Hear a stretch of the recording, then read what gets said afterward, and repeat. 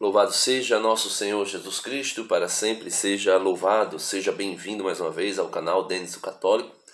Meu querido e amado irmão, a liturgia da palavra deste domingo, que é proposta pela igreja para o nosso crescimento espiritual, vem falar sobre o matrimônio e a indissolubilidade do matrimônio.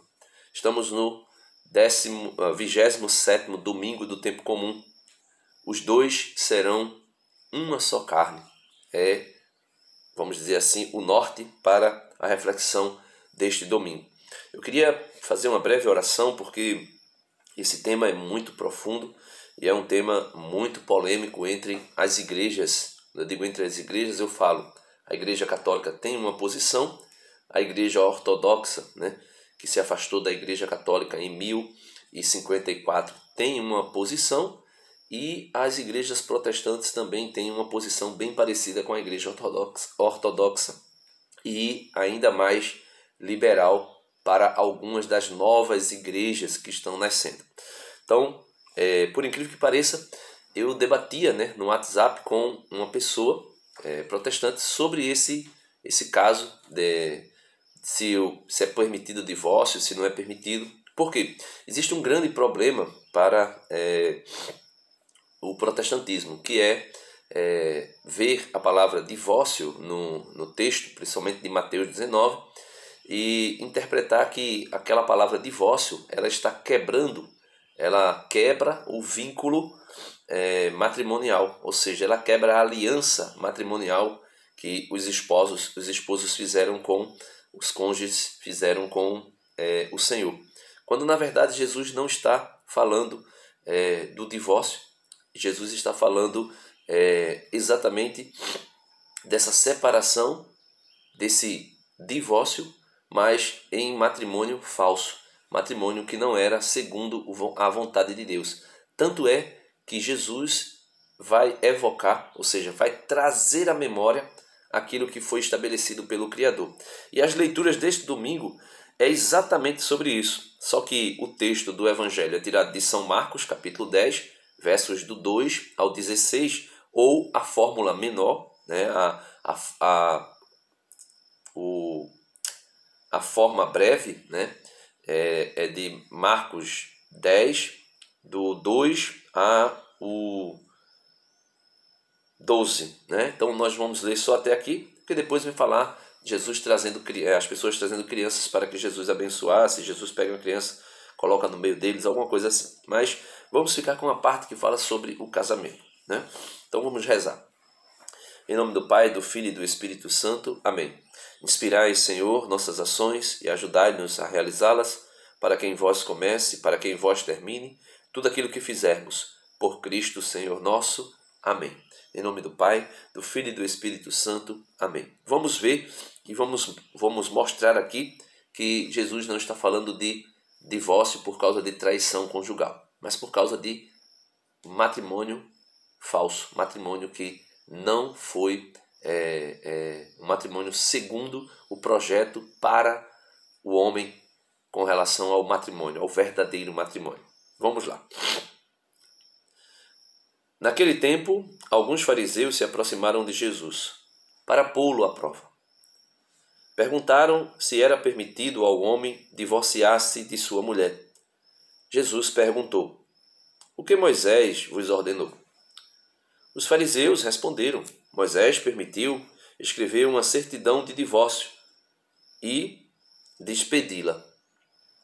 Jesus então disse: Foi por causa da dureza do vosso coração que Moisés vos escreveu este mandamento.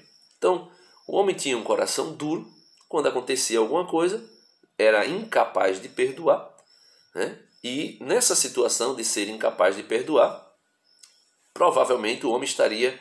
É, que eu estou dizendo provavelmente, porque não tem texto que comprove isso. Provavelmente o homem estaria o quê? Talvez matando a mulher, fazendo coisas com a mulher que era terrível. Então Moisés, para evitar, é, hoje que se chamaria de feminicídio, né, mas para evitar, evitar é, a violência contra a mulher, Moisés acaba criando uma lei e o pior, essa lei defendia o homem e não a mulher.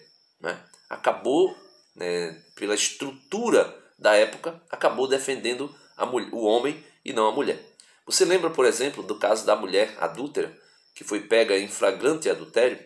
É dito assim: é, os próprios fariseus tentando mais uma vez é, levar Jesus à contradição e depois pegar Jesus em alguma cilada. Eles vão, tomam uma mulher adúltera, levam até Jesus e diz: Mestre, essa mulher foi pega em flagrante adultério. Moisés, né, a lei, diz que ela deve ser apedrejada até a morte. Veja, diz que ela deve ser apedrejada até a morte. Eu penso que Moisés, quando desejou, quando pensou com a, maior intenção, a melhor intenção possível de sua época, eu penso que Moisés, quando pensou nessa lei de que a mulher seria apedrejada até a morte se adulterasse, foi uma fórmula de uma, uma, uma espécie de pedagogia do medo. Se vocês fizerem algo desse gênero, vocês vão morrer. E aí a mulher temente, com medo, além de temer a Deus, né, ainda tinha o medo de ser pega e ser apedrejada. Então, eles dizem: essa mulher foi pega em flagrante adultério. A lei manda apedrejar tais mulheres. Moisés disse isso, decretou isso. E tu, o que dizes? Aí, se Jesus dissesse não apedreja, iriam dizer que Jesus estaria contra Moisés. Se Jesus dissesse apedreja, iriam dizer, tá vendo, ele não é tão bonzinho, ele não é tão justozinho assim, como é, é, a, a, se tem anunciado por aí que ele é. O que é que Jesus vai? Jesus apela para a dureza do coração deles. Jesus vai dizer, aquele que não tiver pecado, atire a primeira pedra. Porque todos tinham o coração duro, não queriam perdoar. Mas mesmo tendo pecado, mesmo sendo pecadores. Então, essa lei, né? Moisés, acredito que Moisés fez de tudo para tentar salvaguardar a mulher, mas na verdade deu é, força, né? Fez algo pior, aconteceu algo pior. Então, Jesus então disse: Foi por causa da dureza dos vossos corações que Moisés vos escreveu este mandamento. Então, no entanto, desde o começo da criação, Deus fez o homem e a mulher. Então, Jesus vai aqui puxar para Gênesis, para o desejo do Criador, para o desejo do Pai dele. Então, no entanto, desde o começo da criação, Deus o fez homem e mulher. Por isso, o homem deixará seu pai e sua mãe, e os dois serão uma só carne. Assim, já não são dois, mas uma só carne. Portanto, o que Deus uniu, o homem não separa. Só aqui, só nessa fala de Jesus no, no, no Evangelho é, segundo São Marcos, a gente já consegue ver que o casamento é indissolúvel, que não tem nada, nada, nada, nada que separe um casal casado diante de Deus. O sacramento do matrimônio é indissolúvel. Né? Poderíamos dizer que é indelével, só é, é, com a morte de um ou de outro. Né? E aí, é, continua Jesus, né? É, mais, uma, mais uma só carne. Portanto, o que Deus uniu, o homem não separa. Em casa, os discípulos fizeram novamente perguntas sobre, sobre o mesmo assunto. Jesus respondeu: Quem se divorciar de sua mulher e casar com outra, comete adultério contra a primeira. E se a mulher se divorciar de seu marido e casar com outro, cometerá adultério. Então, Jesus aqui é claro que se alguém se divorciar de sua mulher e casar com outra, comete adultério. E a mulher divorciada, se ela se casar com outro, ela também comete adultério. Veja o que diz São Mateus no capítulo 5, versículo 31. Ele vai é, é, contrapor o que Moisés havia permitido novamente. Jesus vai contrapor Moisés, porque Jesus é maior do que Moisés. Jesus é Deus. Moisés era um homem que recebeu a lei de Deus, sim. A lei de Deus vai dizer: não adulterarás. Porém, as pessoas, na sua fraqueza, por causa do pecado original, depois da queda de Adão e Eva, as pessoas, nas suas fraquezas, acabam caindo no pecado. Só que, na fraqueza, ela cai no pecado. Mas ela não tem capacidade de reconhecer que o outro também cai no pecado. E não tem capacidade de perdoar o outro. E por não ter capacidade de perdoar o outro, Os homens, principalmente, que se achavam dono das mulheres, tanto é que se você for pegar é, é, os textos lá, se você for pegar os textos do, do, do, do Antigo Testamento, você vai ver que lá nos mandamentos, nos Dez Mandamentos, a mulher está inclusa na, na, na, como propriedade do homem. Né? Não cobiçarás a mulher do teu próximo, o touro do teu próximo, o animal do teu próximo, a ovelha do teu próximo, não sei o que do teu próximo. A mulher está como que uma propriedade. E Deus, na pessoa de Jesus, do seu filho Jesus, vem mostrar exatamente que ele, Jesus, ele eleva o sacramento do matrimônio a uma dignidade que Deus tinha estabelecido lá no início. Veja, foi dito: aquele que repudiar sua mulher, veja, Mateus 5,31. Foi dito, dito por quem? Por Moisés, né? Foi dito: aquele que repudiar sua mulher, dele carta de divórcio. Jesus vai dizer: Eu, porém, vos digo: todo aquele que repudiar sua mulher, a não ser por motivo de prostituição, né? Aqui é, é, é, seria a palavra porneia, e essa palavra porneia, ela tem um, um ela tem um significado também de é, prostituição sexual. Aí nisso aí, os ortodoxos e os protestantes, eles vão colocar como sendo adultério, como sendo traição. Aí veja, Jesus vai dizer, é, eu porém vos digo, todo aquele que repudiar sua mulher, e a não ser por motivo de prostituição, faz com que ela adultere. E aquele que se casar com a repudiada comete adultério. Então veja, se a cláusula é, se a cláusula seria traição conjugal e de acordo com Mateus 19, segundo a mentalidade de muitos, Mateus 19, está, 19 9, estaria permitindo é, o homem se divorciar e casar com outra pessoa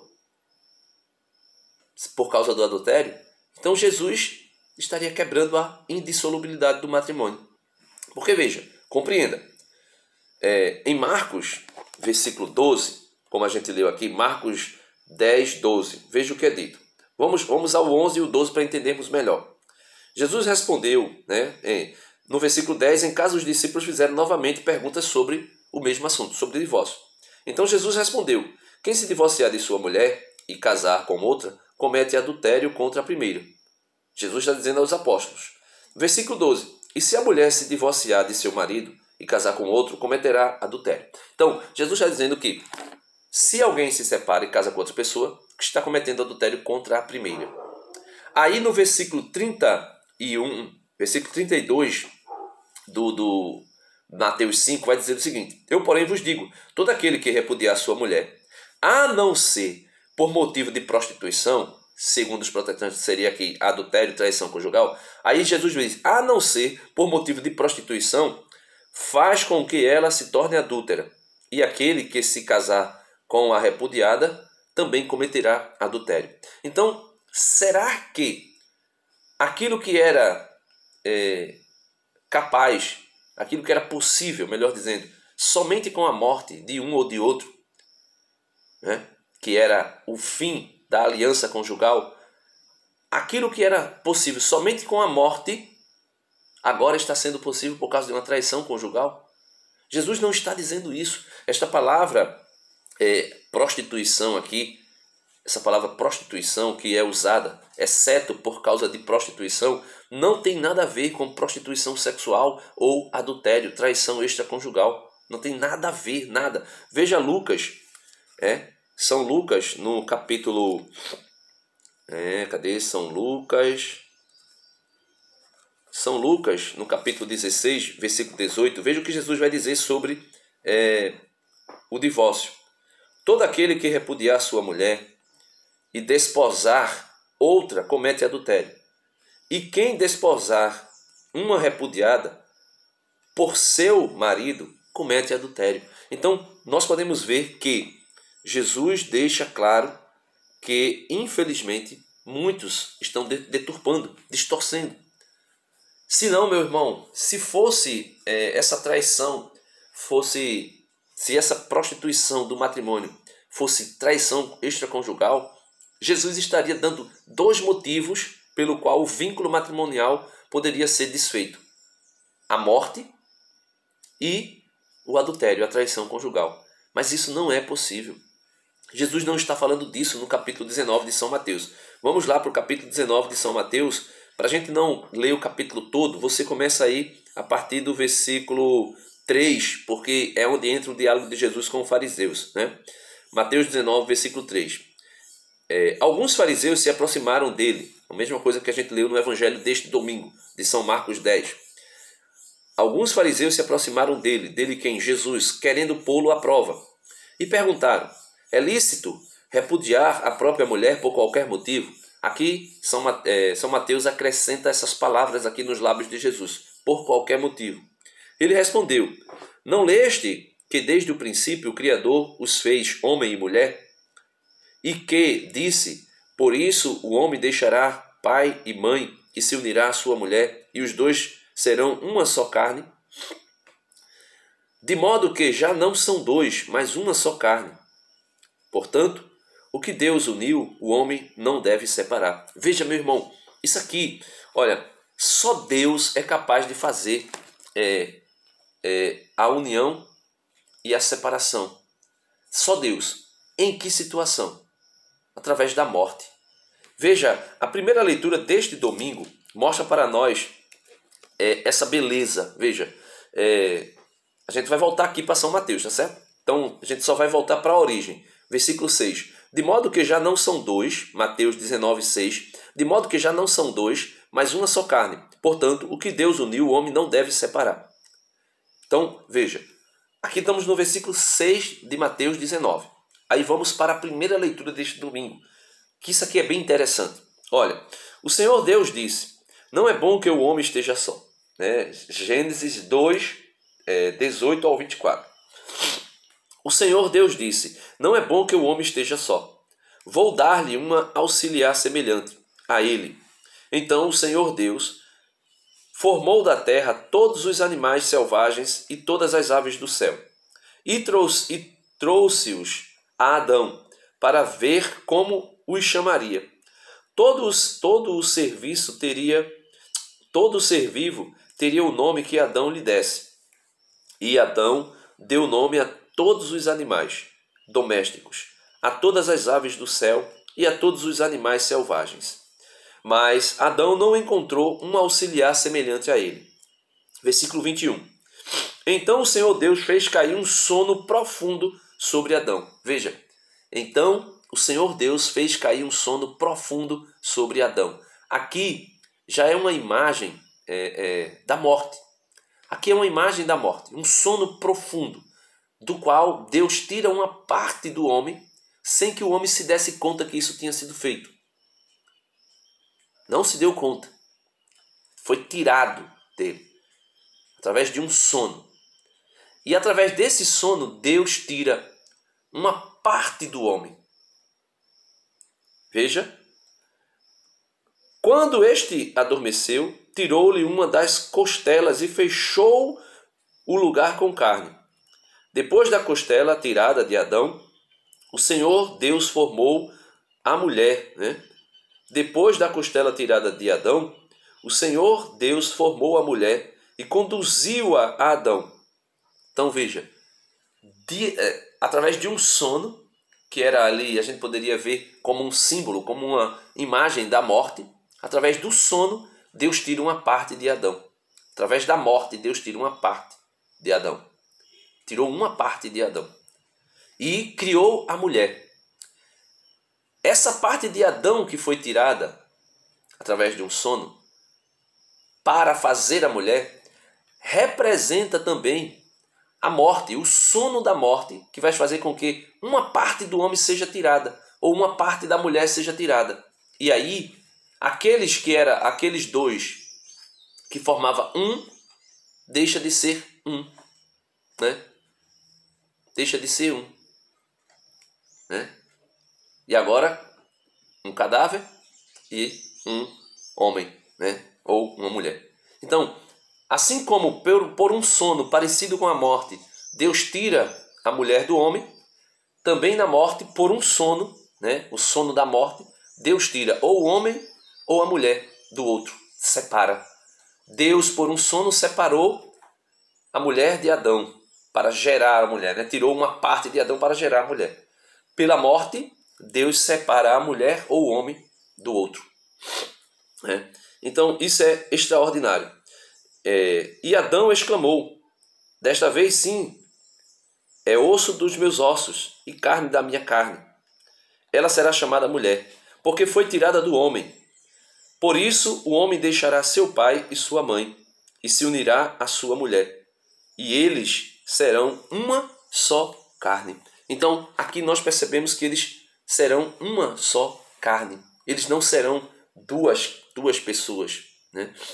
Ou melhor, duas carnes, duas pessoas, serão uma só. Isso é um mistério profundo. E isso é comparado com o mistério entre Cristo e a igreja. Então, continuando, é, Mateus 19, 6.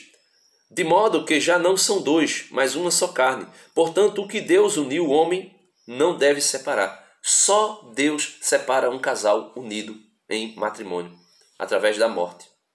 Quando o homem morre, a semelhança do sono que foi posto sobre Adão, é tirada uma parte, é tirada a mulher. Quando a mulher morre, semelhante sono daquele que foi colocado em Adão, a morte, né, é separada o homem e a mulher fica só. Então, o que Deus fez, o homem não separa. Então, o homem não tem capacidade. Versículo 7. Eles, porém, objetaram. Por que então ordenou Moisés que se desse carta de divórcio é, quando repudiasse?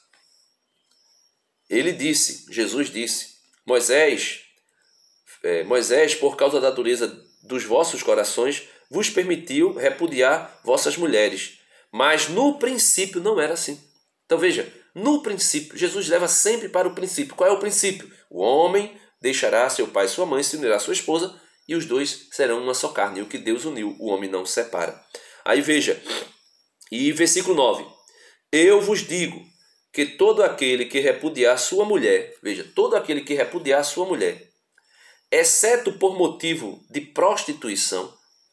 Aí aqui as pessoas entendem como traição extraconjugal, mas é a prostituição do matrimônio, ou seja, os matrimônios. Aí teve um irmão, quando eu debatia com ele no WhatsApp, ele disse: Não, não existia nenhum matrimônio, não, só existia o matrimônio judeu. Abraão, é, é, Salomão, por exemplo, Salomão é um exemplo clássico de vários tipos de casamento que Salomão fez. E qual é o, casamento, o matrimônio que é, é da vontade de Deus? O homem deixará seu pai e sua mãe e se unirá à sua esposa, e os dois formarão uma só carne. E o que Deus uniu, o homem não separa. Só Deus pode separar com a morte, assim como colocou um sono em Adão para tirar de Adão uma parte e construir a mulher, fazer a mulher, criar a mulher. Assim também, pela morte, um, um sono posto pela morte, né? A morte vai colocar um sono e Deus é quem permite, Deus é dono da vida, só morre quem ele quer, a hora que quer e quando ele quer. Então, esse sono da morte faz com que aconteça de novo a separação entre o homem e a mulher, né? que Deus tinha feito lá no início. Aí ele vai dizer, exceto por prostituição. Então, Salomão teve vários tipos de casamento, Davi também teve casamentos, né? É, poligâmico, se eu não me engano, é a expressão que se usa essa, ou seja, casamento com várias mulheres. Hoje seria poliamor, né? Poliamor, né? O poliamor estaria em alta. Aí hoje, veja, hoje tem o poliamor, que é casamento com vários homens ou com várias mulheres, né? Não é permitido ainda, se eu não estou enganado, não é permitido ainda na Constituição, né? Na lei, a lei brasileira não permite ainda esse casamento de um homem com várias mulheres ou de uma mulher com vários homens, como acontece em outros países do Oriente. Aí, aí tem casamento, né? Que querem fazer entre um homem, homem com homem, mulher com mulher, né? Existe casamentos aí, é, é sei lá, para todo gosto, para todo tipo, né? No Japão, se eu não estou enganado, parece que no Japão tem homens casando com mulheres, parece, com bonecas, não sei. Mas, ou seja, quando Jesus diz, eu vos digo que todo aquele que repudiar sua mulher, exceto, aí Jesus está trazendo uma cláusula, uma cláusula feita o pessoal diz, ou seja, está trazendo uma exceção. Só que essa exceção não é para a traição conjugal, é para o casamento falso, o matrimônio falso, exceto por motivo de prostituição. e desposar outra, comete adultério. Então, se Jesus está dizendo, se fosse traição conjugal, ao invés de casamento falso, de matrimônio falso, se Jesus estivesse dizendo, olha, o que Deus uniu, o homem não separe, exceto a morte, mas, mas, se for uma traição conjugal, vocês podem se separar e casar de novo. Porque as palavras é clara, aqui é muito claro as palavras. Eu vou ler a Bíblia NVI protestante, né? NVI, Bíblia de Estudo NVI, é São Mateus capítulo 19, versículo 9, né? NVI. Ele vai dizer assim: Eu lhes digo que todo aquele que se divorciar de sua mulher, exceto por imoralidade sexual, eles colocam né, aquela prostituição que é casamento falso, um casamento que está fora daquilo que é a origem do matrimônio, está né? Tá adulterado, um casamento adulterado. O casamento, segundo a vontade de Deus, é um homem se unir a uma mulher. Por isso o homem deixará seu pai e sua mãe se unirá a sua mulher. E já não serão dois, mas serão uma só carne. Então esse é, esse é o matrimônio segundo a vontade de Deus. Aí, se tem um matrimônio falso, prostituído, uma prostituição do matrimônio ou uma adulteração do matrimônio, é, é possível se separar e casar com outra mulher sem que cometa adultério, porque na verdade nunca foi casado, é o que a gente chama de nulidade, reconhecer nulo o casamento na Igreja Católica. Se você fizer uma pesquisa por aí, né, é, a Igreja Católica tem divórcio? Não. Tem reconhecimento de nulidade, ou seja, reconhecer que aquele matrimônio era um matrimônio falso e que nunca aconteceu, por N motivos. N motivos. Aí a pessoa vai lá, faz um, um, um processo jurídico, canônico, e depois aí é reconhecido nulo. Casamento reconhecido nulo. É, tem uma, uma pessoa que eu conheço que teve o seu casamento reconhecido nulo e ela casou com outra pessoa, normalmente na igreja, sem ser adúltera, é, porque tinha se casado com um homem, né, um primeiro. Né? Então, aí eles colocam aqui, é, vou ler de novo, Mateus 19, 9. Eu lhes digo que todo aquele que se divorciar de sua mulher, exceto, exceto né, por imoralidade sexual e se casar com outra mulher, será, come, será é, estará cometendo adultério. Então veja, se for imoralidade sexual a cláusula para permitir um segundo casamento, porque é, é claro, se o homem se separar da sua mulher, exceto por imoralidade sexual e casar com outra, comete adultério. Ou seja, se ele se separar de sua mulher por causa de imoralidade sexual, pode casar com outro e não cometer adultério. Seria isso, mas não é imoralidade sexual. É casamento é, é falso. É prostituição do casamento, prostituição do matrimônio. Então, é, tem um, um trecho do rodapé da Bíblia de Jerusalém que é bem interessante sobre isso, mas é, já estamos aí com 27 minutos de vídeo. Eu vou somente ler, não vou explicar o rodapé. E aqui ele deixa muito claro o que está querendo ser dito. É, a primeira parte, né, é a afirmação categórica da indissolubilidade do matrimônio conjugal. No versículo, no, no, na, na letra A, né? A letra A corresponde aqui a, deixa eu ver, deixa eu me ver. Cadê Jesus? Me ajuda aqui.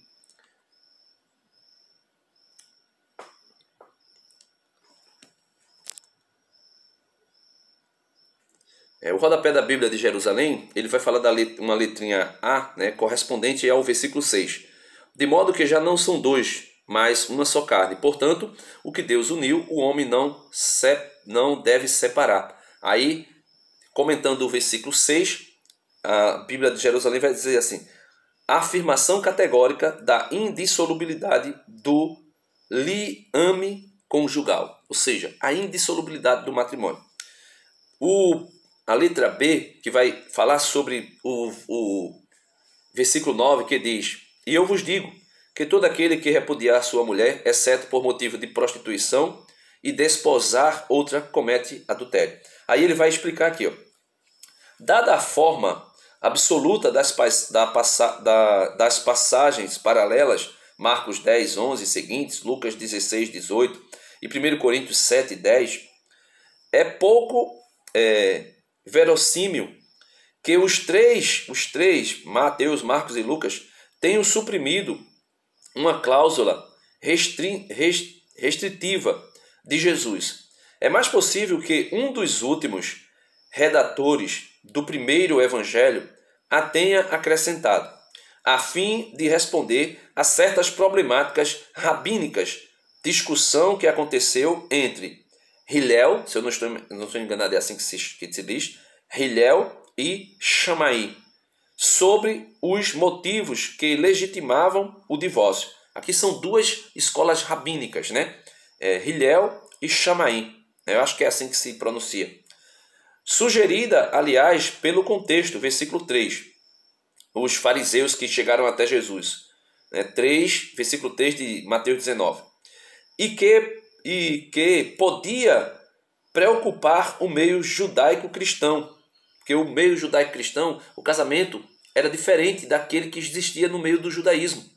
O casamento judaico-cristão é estabelecido, é elevado à, à dignidade de matrimônio por Jesus, como era no princípio, o homem e a mulher somente, né? E que podia preocupar o meio judaico-cristão, para o qual escrevia, né, Mateus. É, Ter-se-ia, assim, aqui uma decisão eclesiástica de alcance local e temporário, como foi o do decreto de Jerusalém referente à região de Antioquia. Atos, aqui ele vai falar sobre o decreto sobre é, o Concílio de Jerusalém. O sentido de porneia orienta, é, orienta e, e pesquisa na mesma direção. Alguns querem ver aí a fornicação no casamento, isto é, o adultério. E assim acham aqui a permissão de divorciar em caso semelhante. É o que faz os protestantes. É o que fazem as igrejas ortodoxas e protestantes. Mas, nesse sentido, seria de esperar outro termo, moicheia, moicheia. Para prostituição e adultério seria usado outro termo na língua grega, moicheia, e não é, porneia. Ao contrário, no contexto, porneia parece ter o sentido técnico de zenut ou prostituição, como se encontra nos escritos rabínicos, o qual se aplica a toda união tornada incestuosa em virtude de um grau de parentesco interdito pela, pela lei. Leia Levítico 18. Uniões semelhantes, legalmente contra, contratadas entre pagãos ou toleradas pelos próprios judeus no caso de prosélitos, ou seja, pessoas que vieram, que se converteram ao judaísmo sem ser judeu, deviam ter criado dificuldades no meio judaico-cristão, legalistas como o de Mateus. Quando tais pessoas se convertiam, daí a ordem de romper essas uniões irregulares, que não eram, em suma, senão falsos casamentos. Outra solução sugere que a licença concedida pela cláusula restritiva não se referia ao divórcio, mas a uma separação sem novo casamento, que é o mais lógico. E o irmão que eu debatia com ele essa semana, ele acreditava nisso aqui, uma separação sem um novo casamento. Então, não é divórcio, não é quebra do vínculo matrimonial, é apenas um divórcio, como acontece inúmeras